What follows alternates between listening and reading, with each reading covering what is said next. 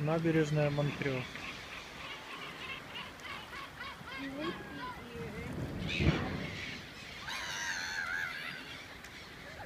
Красивый закат и очень много птиц.